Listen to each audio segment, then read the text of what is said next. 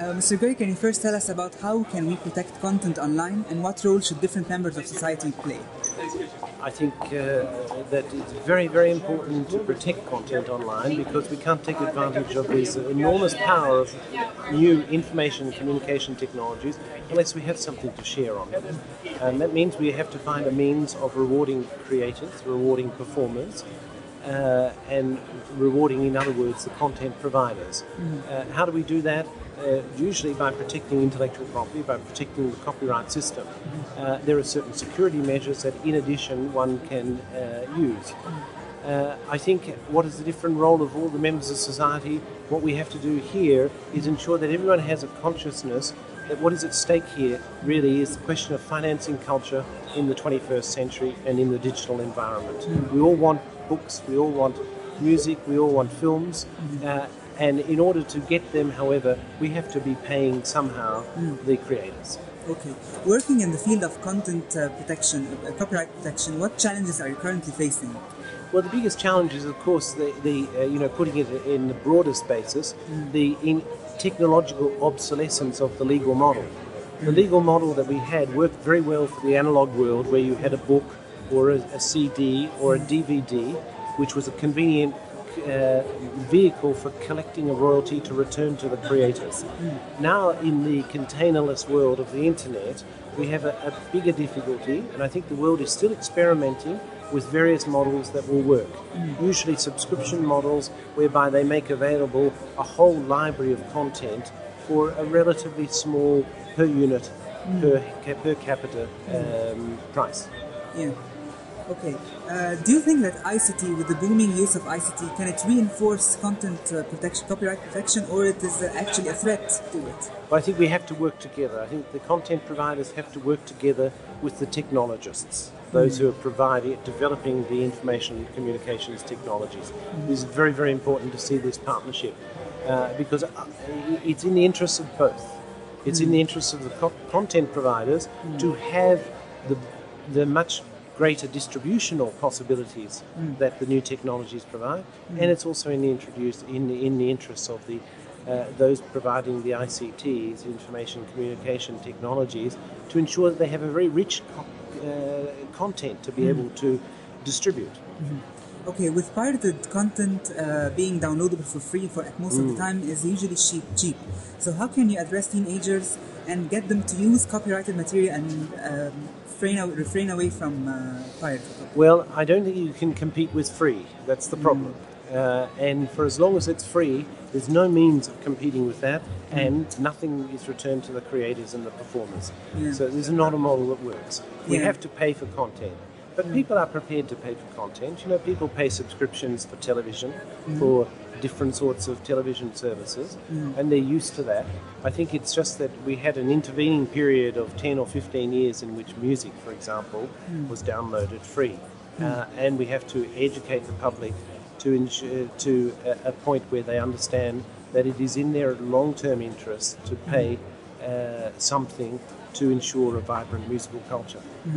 In the panel, you mentioned that we need to achieve a balance between the incentivization of content creation and the diffusion of it. Can you highlight on this, please? Sure. Uh, I mean, I think that we've seen as a result of ICT, it's really a lowering of price of the availability of content, and that's very, very good. And that has been uh, brought about in part because the audience is enlarged by so much. It's now the whole world is the audience, uh, uh, and that enables us to, to lower the unit cost, if you like. Uh, it's very important that content pro- pro- providers take advantage of that because if they charge prices that are too high, we are going to see uh, a situation in which uh, there will be you destroying the incentive for people to participate in payment Yeah. of the creators. Okay, final question. How do you view content uh, protection, protecting uh, copyright in the, in, the, in the light of social media and social networking, which is really booming today? So, how do you view this? Well, same problem. I mean, I think uh, uh, subscription models are one way of doing it. Uh, That's very, very important. Um, I think uh, making available content on, on, on terms that are reasonable and ensure widespread diffusion is another way of doing it. Uh, I think I, I'm rather partial to the to the notion that uh, libraries become available, but against payment. Thank you so much.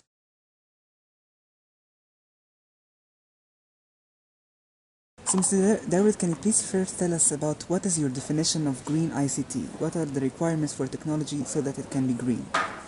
Okay, well, I think you need to look at this in two separate aspects. The first is making sure that the carbon footprint, the pollution that is actually produced as part of the manufacture and use of the IC equipment, ICT equipment, is uh, minimized.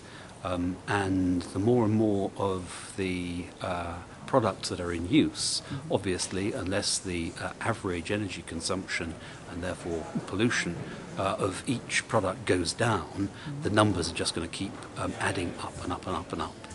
Uh, the second half is what ICT can do for other sectors. In other words, the way that uh, smart applications uh, of information technology, of communications, and so forth can actually reduce the pollution and the energy consumption of or a whole variety of other sectors from energy supply through to transportation. Plenty of occasions where people have no particular need to consume as much energy as they do at the moment. And if they knew more about it or if they had smart systems which were available to them to control, they would take that control. Okay, so mentioning carbon foot- footprints, what can broadband, how can it be impacting carbon footprints and how, can it lessen? Uh, yeah, can you just tell us more about that? Well, uh, the the problem, of course, is that uh, effectively the broader the band, um, uh, the higher the energy use.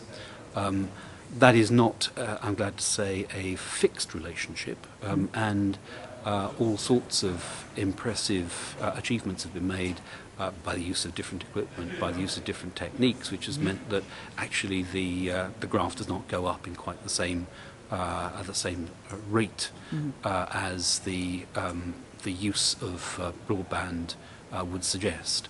Nevertheless, it's like running up a downward escalator.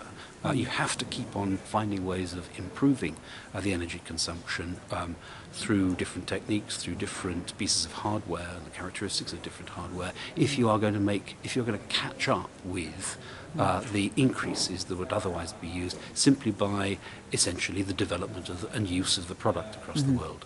Okay, so what role can governments play in encouraging the use uh, of green ICT? I think that governments firstly have to draw attention to the problem. Um, it is uh, undeniable that ICT has the uh, capacity for providing a huge amount of assistance to attempts to deal with climate change and other environmental problems. But it has also to come clean about its own footprint. It has to um, understand, and governments have to remind it, that this is an industry like many others, with which is very thirsty for energy, which is very thirsty for some materials uh, in its footprint, which have uh, environmental problems associated with it. And that means that um, government has to um, keep putting the pressure on the companies so that they understand that this is uh, a way in which they will be judged, judged by their customers, judged by uh, governments who could regulate if they were not able to persuade, and judged by investors as well. And most importantly, from my perspective, I come from the International Emissions Trading Association, so I'm particularly interested in the impact, both as a stick and a carrot, that a price of carbon imposed by government or governments can have. Once you have turned the thing that you actually want less of into, if you like, a cost, a factor of production, then the normal economic reasons for trying to reduce that cost, reduce the usage of that factor of production, come into play and we will benefit. So, what incentives can be offered for individuals or businesses to engage in green ICT practices? Um, I think the price uh, alone will uh, provide an incentive, even if it's only a rather negative incentive. But if it's a trading environment, then there's the possibility that a company can make enough savings to actually sell those savings to other people. Um, we're beginning to uh, see that approach through the European Emissions Trading Scheme. Uh, there will be others as well. What else can governments do? Governments can essentially approach um, uh, the uh, regulation uh, of uh, the use of appliances and products um, of a, uh, a, a no longer acceptable um, rate of uh, energy consumption uh, and therefore with a uh, major carbon footprint. Mm-hmm. So you get an approach which has been used in a number of countries whereby essentially there is a constantly moving escalator, if you Mm-hmm. like, of, of regulation so that the, the, the, the top 25% in terms of performance becomes the standard for the next generation Mm-hmm. and so on and so on. That's the way that smart regulation ought to work to add to the price. Mhm. So, final question Green ICT for businesses, is it now a necessity or a competitive advantage, possibly, or a threat? I think it's all those things together. It's a necessity because, uh, frankly, it's a necessity not to waste money. And if you can find ways of producing what you need at a lower cost, then you should be taking them.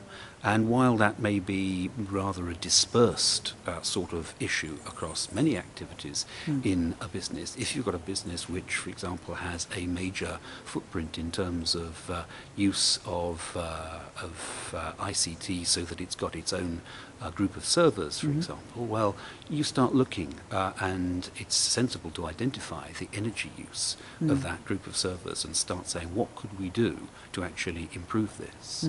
Um, it's a threat um, because if you don't get that right, then you are going to find that uh, the next guy, your competitor, uh, may have got hold of this idea quicker than you. Um, and it's an opportunity because you can appeal to all the categories of stakeholders that I mentioned before hmm. your investors, your customers, your stakeholders more broadly hmm. by showing that you're a company which actually has a concern for the environment, has a concern for its own costs, hmm. and is at the leading edge in terms of um, the overall profile of the industry.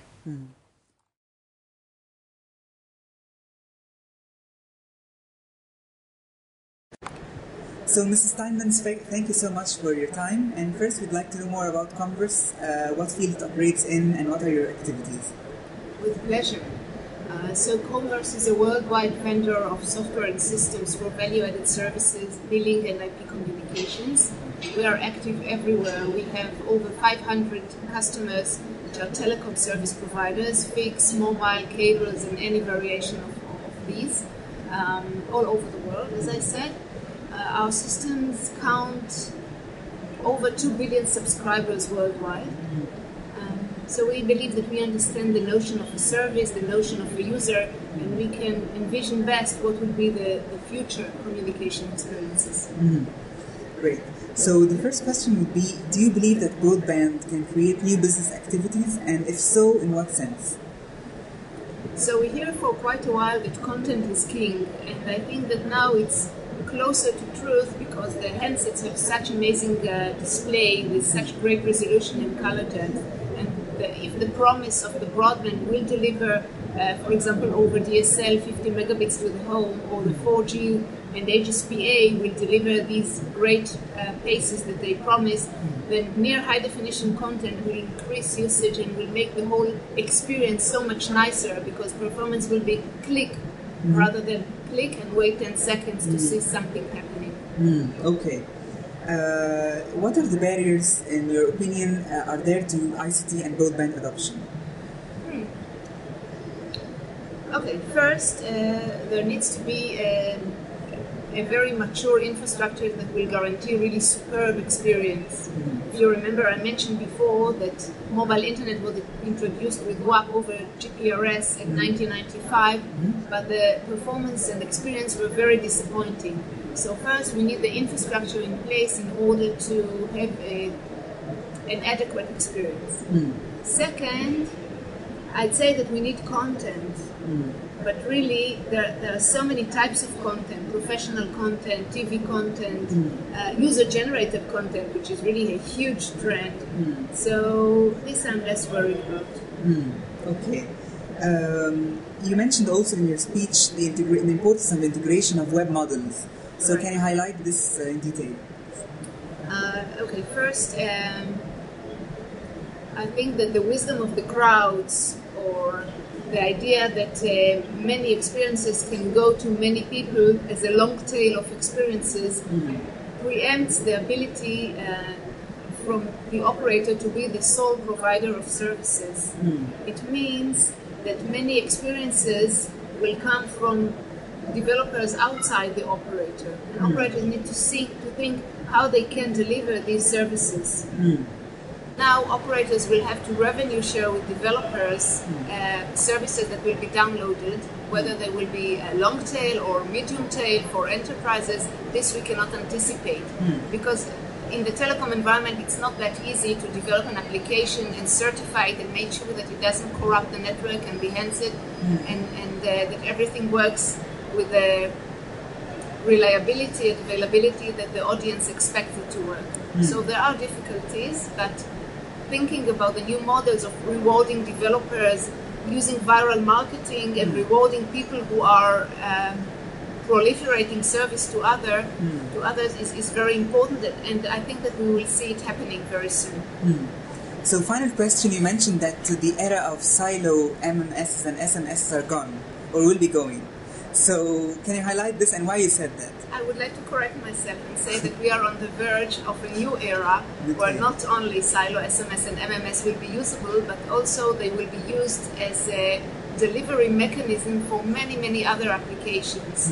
They will be the facilitator for many developments coming from the web, coming from uh, independent developers like we uh, just discussed, and um, uh, maybe uh, if operators will allow open APIs to these facilities, many applications will use them and increase traffic and increase uh, um, revenues for all, all people involved. Thank you so much.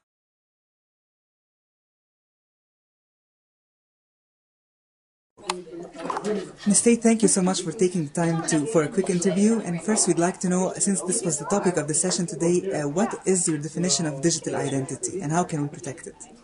Well, obviously, as you know from today's uh, from today's uh, sessions on cybersecurity, that digital identity can be many, many different things to many different people, and that's why, as we are talking at an international level about one, whose responsibility is it um, in terms of cybersecurity and protecting digital identity, um, and then also what are some of those standards and principles in order, whether it's at the government level or mm-hmm. all the way at the consumer mm-hmm. personal level to protect our digital identity in the mm-hmm. digital age. Okay, so when dealing with the topic of cybersecurity, what approach should we take? Should we take a fear or threat approach, or how can we deal with this subject? Right. Well, obviously, um, there are incredible opportunities that come with our connection to the internet and to broadband. And so we certainly want to um, talk about all those possibilities from uh, distance learning to e health to e commerce. You know, absolutely, as we've heard, the ICT is having a huge impact positively during this economic downturn. So while we want to celebrate all the positive uh, uh, parts of this wonderful connectivity, we also do have to think about the risks and the dangers. Um, I am particularly concerned about those risks as they uh, apply to our children and youth. Are you with uh, being concerned about uh, malware detection tools and security uh, tools, or educating people about the concept of cybersecurity first? Which should go first? And I think that these are all issues that we have to deal with hand in hand. As you know, we have many countries that are very sophisticated and have had years of experience with both the good parts of the internet and connectivity and also many of the dangers. And they may be farther ahead than many of the nations in many of the developing nations who are just now getting citizens connected. And so I think that all of this goes hand in hand. First of all, to your point, we have a whole new vocabulary of words that we have to deal with. And then, of course, we have to figure out what are the best solutions to try to solve those specific issues. And I also think, to your second point, it's extremely important that we begin to educate all of our citizens about cybersecurity, that this cannot be just a discussion for international leaders, but this needs to be a discussion for all of us, consumers everywhere in the world. Mm-hmm. I'm interested to know more about the Child Online Protection Act. Can you please highlight in detail entail, what does it entail, and what, it, what does it call for? Yes, I'm very thrilled to have been part of the steering committee here at the ITU developing guidelines um, for educators, for parents, for children and youth, and for the industry.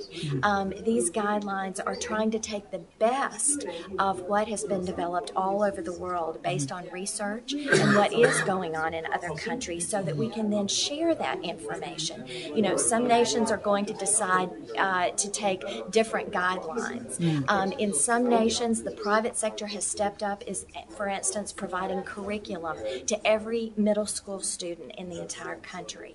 Um, in some nations, I think that that is being done through government, either through law or regulation. So, for instance, having curriculum that may start at the kindergarten level and go all the way through high school. But I think it's important that we're not only teaching our children the skills, for instance, keyboarding or researching online, but we're also teaching them about some of the real risks and dangers that they can find in the online digital world. So my final question would be, in light of the booming uh, of Web 2.0 and social networking sites like Facebook and Twitter, how do you view children's uh, safety online and cybersecurity uh, broadly?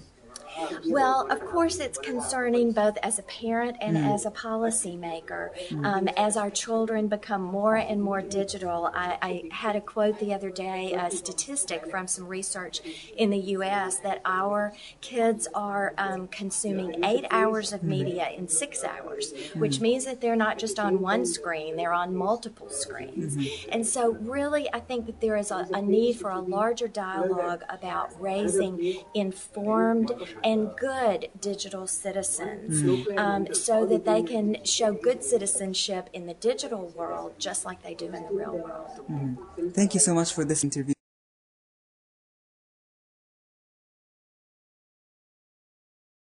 Mr. Kirk, thank you so much for taking the time for a short interview. And first, we'd like to know how you, how you see the global strategy for telcos. How, is it, how important is it uh, in the meantime? I think a telecommunications provider can't succeed uh, unless they're being very local in their marketplace.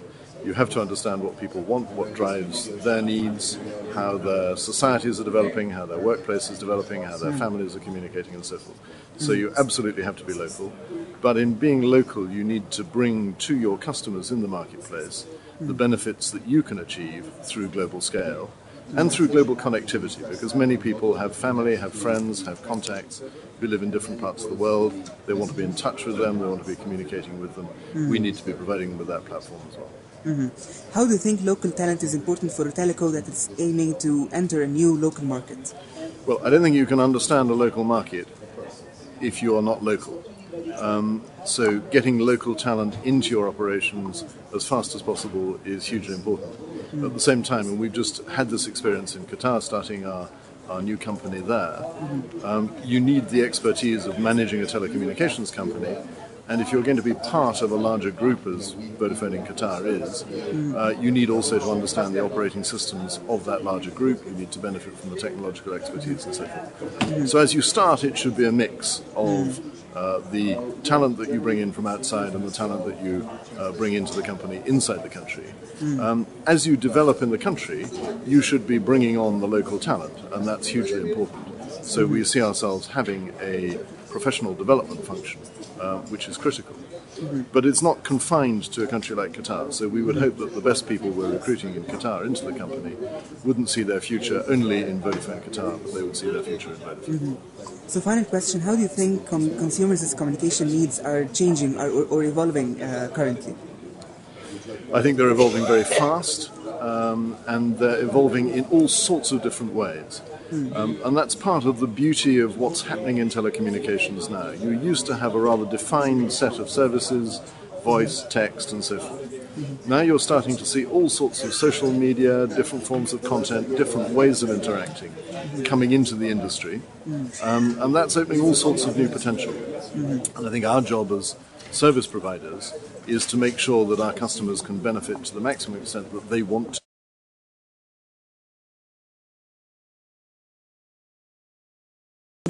Mr. Erickson, thank you so much for your time, and uh, we'd like first to ask you about how do you view the convergence of CT and IT and what it means for consumers? I think in general it will be more and more difficult to decide what is uh, telecommunication and what is sort of pure uh, uh, internet. And this, these are merging, and I think the important thing is to make sure that you put the end user in focus and make sure that you come up with a good solution that the end user is willing to, to pay for to the extent that you can continue providing the solution. Mm-hmm. Uh, green ICT and how ICT can uh, respond to climate change is a very booming topic nowadays. So, how do you view green ICT? Is it an opportunity or a threat uh, to telecoms? Absolutely, an, an, an opportunity because the, the, whole ICT sector only contributes about 2% to the man made carbon dioxide in the world. And then there's a course, we have to make sure that we reduce our portion, our 2%, and work very hard with that, that we sort of walk the talk and become credible. But mm. then there is also the whole 98% where we can help in reducing the carbon dioxide footprint by using ICT in a clever way. And there are many different studies down there, but somewhere in the range of 15 to 20% out of the 98% can be reduced by using ICT the right way. So if you look at it, we have 2% over here that can reduce 20% over here. That's sort of a 10 to 1 payback of, mm-hmm. of, using ICT. So definitely it's an opportunity. And I think really as we go forward now for the COP15 and so on, we should look to the ICT sector and see that we invite also the sector that can be part of solving the problem mm-hmm. to the table. Mm-hmm. Uh, cloud computing is a very important topic nowadays. How do you think it has an impact on carbon emissions? That is one one solution of, of many because the carbon emission will have to work with how to reduce power consumption uh, and make it more as, as uh, effective as possible. And if, if the cloud computing is part of that, then of course it's part of the total solution. Mm-hmm. Finally, how do you envision the telecom industry in the coming 10 years? We will see more and more broadband. If, uh, we, I think we have only seen the beginning of broadband, and as broadband now goes mobile, if you look at it today, we have 4 billion mobile users and 1 billion fixed users. Mm-hmm. And if you look ahead five years, we will have 4 billion mobile broadband users and 1 billion fixed broadband users, to mm-hmm. the extent we can still separate what is fixed and mobile at the time. Mm-hmm. So we've only seen the beginning of a broadband explosion.